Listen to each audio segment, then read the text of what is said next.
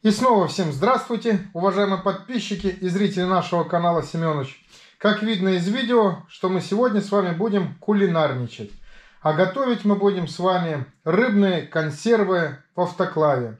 Как сказал я уже в крайнем видео, кто смотрел, когда проверял катийские мордушки. И добыли мы вот таких вот мясистых ротанчиков. Конечно, не в таком количестве, их было чуть больше. Сюда пошли самые такие отборные. Вот. И я вам пообещал, что есть у меня задумка попробовать эту рыбку ротана еще в одном блюде. И это блюдо я решил сделать рыбные консервы. Отобрал, как я уже сказал, самых таких больших, мясистых. И также э, рыба будет у нас еще одна, это щука. То же самое, видео на канале есть, как я ее добывал на хапуге. Кому будет интересно, зайдите, посмотрите и не пожалеете. Будет, я думаю, интересно для вас. Э, консервы у нас, они как обычные. Я их уже очень много раз сделал. Самый обычный рецепт. Будем делать э, в автоклаве, как я уже сказал. Для приготовления консерв нам с вами понадобится. Это перец черный горошком. Также лавровый лист, соль, подсолнечное масло, сама рыба. Ну и в принципе все то, как я ее чистил, эту грязную слизистую работу я вам не стал показывать. Все, я думаю, умеют это дело делать. Сейчас берем нашу рыбку и начинаем нарезать на порционные кусочки. Можно рыбу в баночку поставить. В баночке у нас, кстати, с вами будут такие вот полулитровые. Самый такой оптимальный вариант. Когда его можно будет взять хоть на охоту, хоть на рыбалку, хоть э, на ужин, хоть на обед, хоть куда, в общем. Небольшенькую баночку взял, распечатал, покушал, и вполне достаточно. Я раньше, конечно, и в литровых делал. Все зависит от какой компании. Ну, здесь лично для меня самый оптимальный вариант. Вот она примерно 12 сантиметров, вот здесь вот. Поэтому будем делать с вами порционные кусочки где-то по 2,5-3 по 3 сантиметра. Сейчас с вами нарезаем.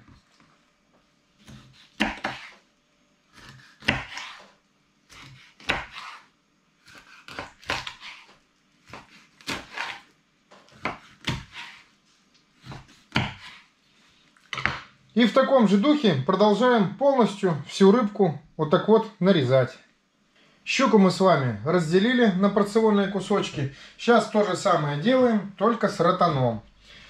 Когда я его чистил, скажу я вам, вот если взять ту же щуку, да, там окуня или судака, где-то примерно 30% уходит на отходы. Вот эту же рыбу начал я когда полностью обрабатывать все дело. У нее, по-моему, 50 на 50 процентов это точно, что 50 процентов отходов и 50 процентов не, непосредственно продукта. Если даже не 60 процентов отходов вот от этой рыбы.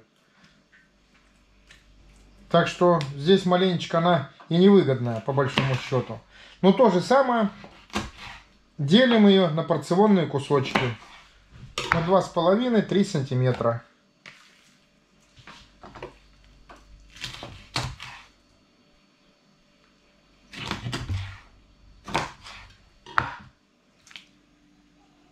Нарезали мы с вами порционные кусочки. Вот такие вот получились отставляем их в сторону. И сейчас беремся за тару, в которой будем консервировать. Это вот полулитровые баночки. В каждую полулитровую баночку добавляем по 3 горошинки перца черного. Также добавляем лавровый лист. Лавровый лист здесь у нас попался хороший такой, среднего размера. Небольшой и не маленький. Поэтому по одной лаврушечке также кидаем. Но здесь, по идее, по рецепту, необходимо еще добавить нам душистого перца. Но я этого делать не буду. Так как я не знаю, в, в течение какого времени я эту консерву скушаю. Может быть она через полгода, может быть раньше, так как у нас еще старые запасы не съедены. Вот. Но душистый перец, душистый перец дает э, своего рода такой вкус хороший, если консерву скушать в течение там недели, ну месяца, может полутора самое большое, она как раз э, нормальная будет вкусовые качества. Но если этот душистый перец простоит полгода и больше, э, кому-то нравится этот вкус, кому-то нет. Нам лично вот такой вкус не нравится. Поэтому мы делаем так, чисто добавляем вот этого перчика и все. Вот. Также многие э, вот этот продукт нарезав в одной емкости, начинают солить, там перчить или еще что-либо делать. Я этого не делаю никогда. Я отдельно в каждую емкость накладываю соль. И я буду уверен в том, что у меня каждая баночка просолена, как ей положено. Ну, в общем, как-то так. Продолжаем начинять перцем и лаврушкой все остальные баночки. Затем, вооружившись вот такими вот инструментами, берем баночку, емкость нашу и начинаем помаленечку складывать наши порционные кусочки.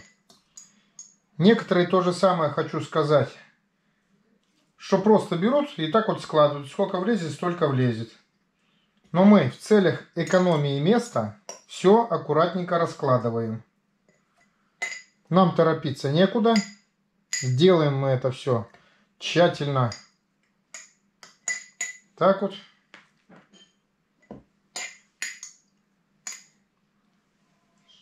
И трамбовать, трамбовать то же самое рыбу не нужно. Сейчас накладем примерно, покажу я вам. Ну и дальше продолжим, уже без вас. Я думаю, это будет понятно.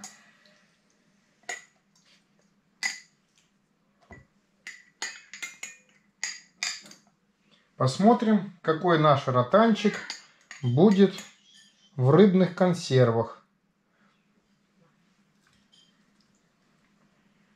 Жареный и в котлетах показал себя с положительной стороны. Как я уже вперед говорил, у него только внешний вид отпугивает. Ну а так, я его тоже раньше вообще не ел. А так Вполне нормальная рыба.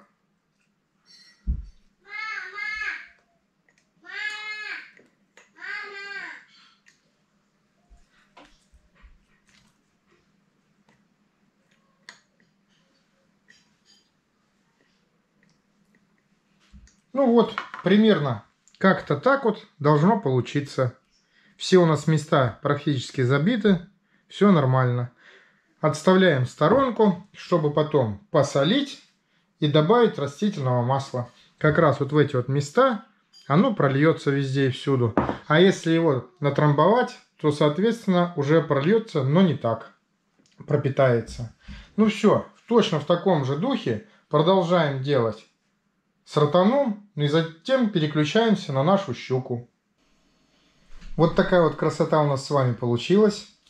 Из 12 баночек у нас, в общем, 4 баночки с ротанами и 8 баночек с щукой.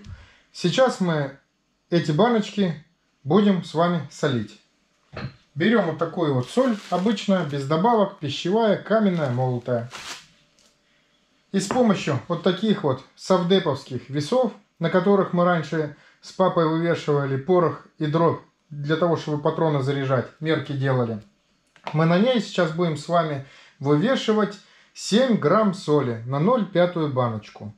Так как я делаю это не в первый раз, по инструкции, по рецепту, вообще на 0,5 баночку делается 5 грамм соли.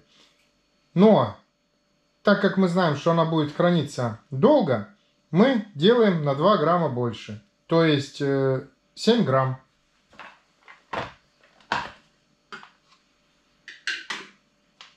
Проверено годами. Никто ничего не жаловался, кого угощал, где ели. Кто-то делает то же самое на глаз. Вот так вот берет ложку чайную и высыпает. Но я так не делаю. Пускай это будет долго. Но, как я уже сказал, мне торопиться некуда. Вот видите, оказывается. Уже бы была пересоленая. А так Будет в самый раз. Все, достаточно. берем баночку и высыпаем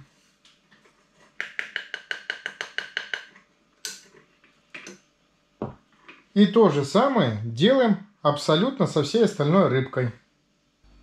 После того, как мы равномерно наши баночки посолили, сейчас будем добавлять растительного масла. Но к этому вопросу я тоже отношусь скрупулезно, как в аптеке. Приобрел вот такие вот весы. Вот, минус 92 грамма. Обнулили мы их. И сейчас мы будем добавлять 15 грамм миллилитров растительного масла. Но так как мы знаем, что кашу маслом не испортить, я добавляю немного больше. Так как сейчас, пока будем выливать масло, маслица немного останется на стенках рюмочки. И поэтому я добавляю 20 миллилитров грамли. Итак, в каждую баночку. 18 получилось, но ничего страшного. Как видим, что в баночках, после того, как мы залили масло, нигде его не осталось. То есть масло между кусочками ушло в самый низ. И это означает очень хорошо. После чего нам необходимо баночки закрыть крышками для консервирования. В данном случае они вот такие вот у нас. Но перед консервированием нам необходимо наши крышечки простерилизовать. Некоторые этого не делают и зададут вопрос, зачем это делать. Э, у нас автоклав стерилизатор, он и так все простерилизует. Ну, во-первых, после завода мы не знаем, что с ними делали. Это во-первых. И во-вторых, вот здесь вот расположены у нас эти резиночки. И стерилизация, эти резиночки после стерилизации размякнут тем самым. В общем, наливаем воды, чтобы скрылись крышечки. После чего ставим на открытый огонь или на плитку, даем водичке закипеть. После закипания ровно одна минута. Приступаем. Закипели наши крышечки. Прошла у нас минута. Аккуратненько берем и переносим на стол. И сейчас мы будем закатывать наши баночки. Берем первую баночку аккуратно не обжечься, чтобы крышечку. Вот такую вот машинку, проверенная которая временем. И аккуратненько закручиваем.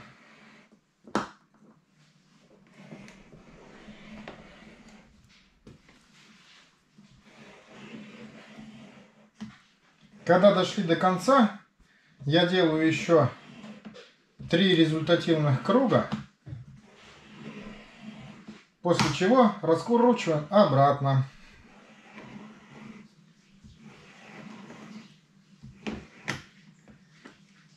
Затем беру и вот так вот проверяю, чтобы машинка сразу, если она не закатала, крышка будет шевелиться. Крышка в данном случае не шевелится. Отставляем баночку в сторону и приступаем к закатке других банок.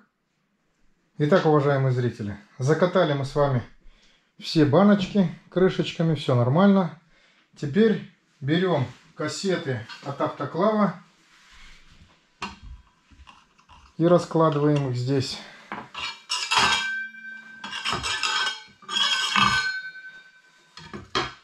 Вот в таком вот порядке. У нас автоклав будет заполнен на 100%.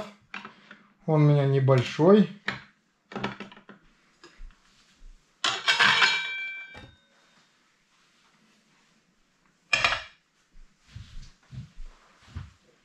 Так, здесь желательно баночка над баночкой, чтобы лучше прижималось друг к другу.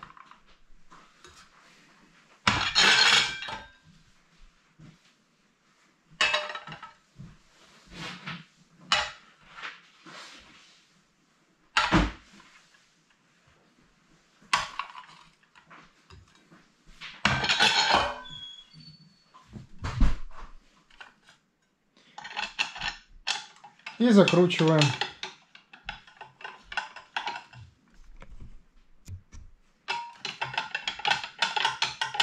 Закручиваю не до конца, чтобы когда опуская в автоклав, баночка может где-то что-то какая-то пододвинулась. После того, как я опущу в автоклав его, кассету эту,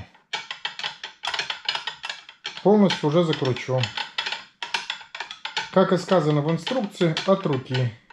Так, хорош, я думаю. Автоклав у меня называется «Домашний погребок». Покупал я его в 2015 году.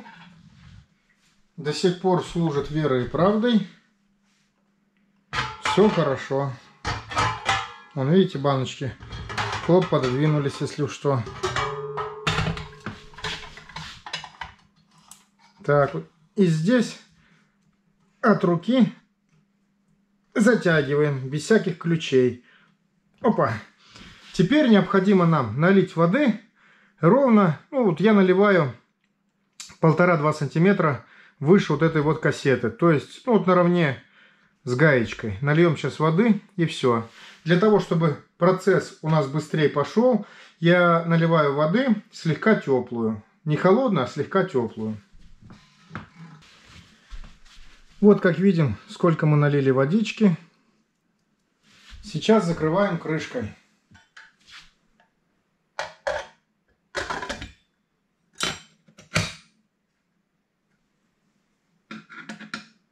Крышку я, конечно, закрутку сломал.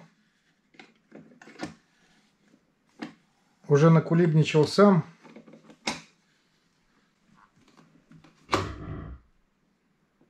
Ну, я думаю, достаточно. И все, сейчас устанавливаем на газ. И аккуратненько устанавливаем. Так, давление хорошо видать. Этот тоже хорошо видать. Датчик температуры. Зажигаем газ. И теперь ждем, пока у нас температура вот не достигнет 115 градусов. После чего мы засекаем время 20 минут. И 20 минут она у нас будет стерилизоваться. Но на самом деле она вообще этот процесс очень долгий. Ну, самая основная работа у нас с вами выполнена. Многие, в общем, писали мне в комментариях, что необходимо немножко воды наливать и на пару, чтобы она варилась, стерилизовалась. Но я придерживаюсь руководства по эксплуатации данного автоклава. Как там написано, так я и делаю. Так что как-то так. Ну все, ждем. Ну что, уважаемые зрители, вот у нас температура 115 градусов подходит. Избыточный клапан слегонца шевелится, как видим. Время у нас 17.04. Вот. Так, а оставили мы 3 часа. Итого 2 часа вот оно у нас закипало. Давление у нас 0,8 единички, как и положено. Все, вот с этого момента сейчас вот убавляем слегка газ. И оно у нас начинает стерилизоваться. Засекаем время. Так вот. В общем, 17.05 в 25 минут мы с вами отключим автоклав.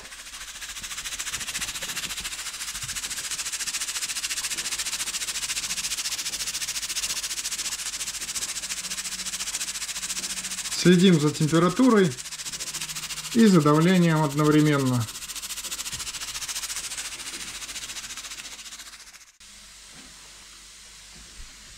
Пролетели наши 20 минут.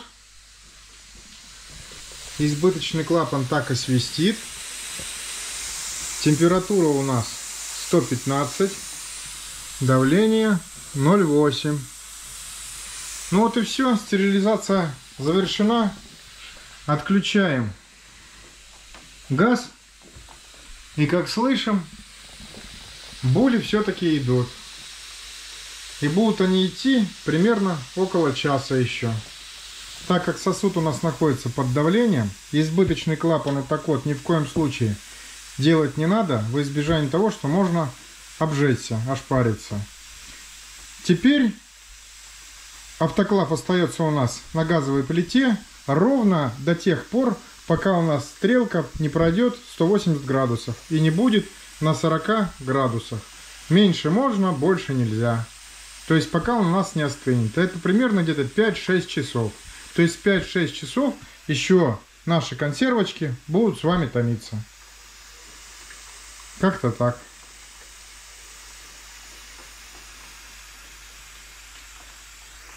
Ждем завтрашнего дня. 23.38. Прошло уже 6 часов. А температура наша опустилась только чуть меньше 60 градусов, как я вам и говорил.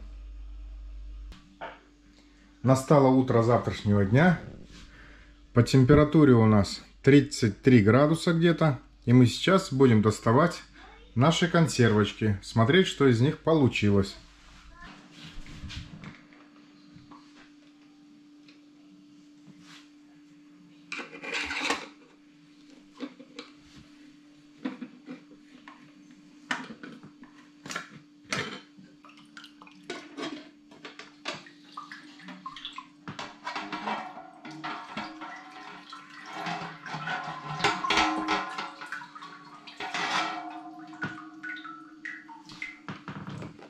Оба.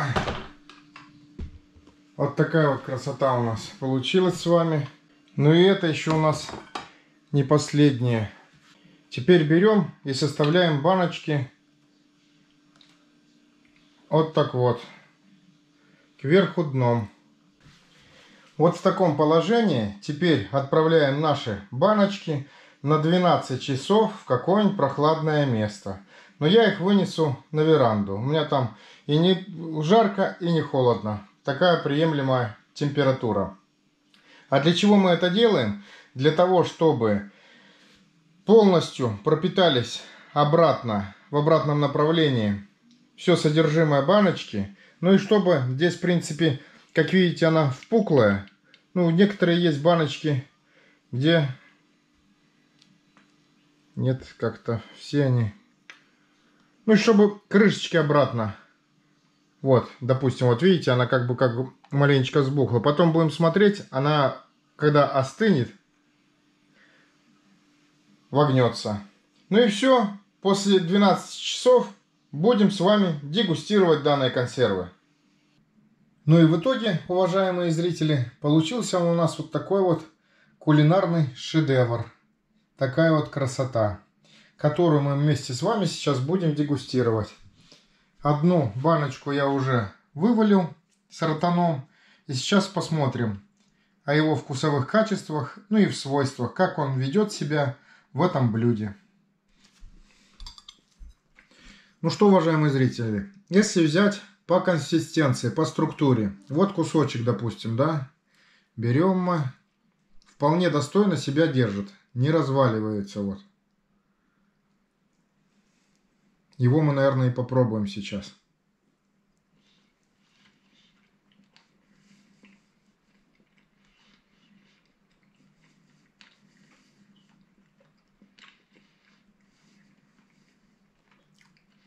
Ну что вам сказать? По соли нормально, как и должно быть. Но вкус у рыбы все-таки все, -таки, же есть. Конечно, Рядом щука и окунем рядом не стояла. Ну а так, как говорится, рыбой пахнет. Вот еще давайте кусочек развалим. Вот, то есть, видите, как держит форму. Не разваливается.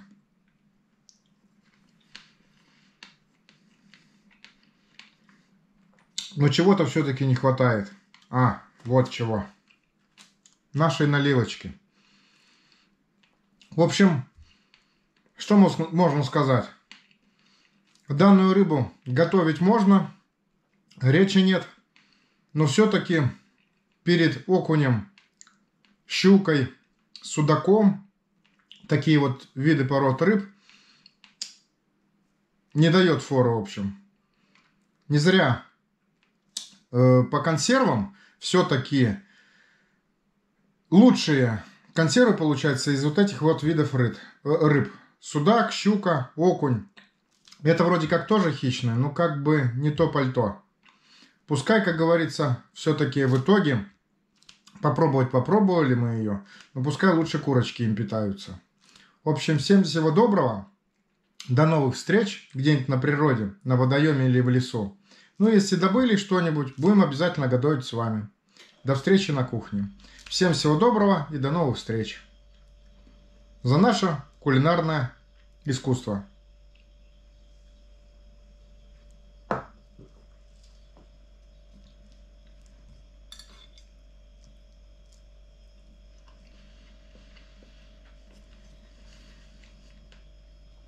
Косточки тоже разварились, все как положено.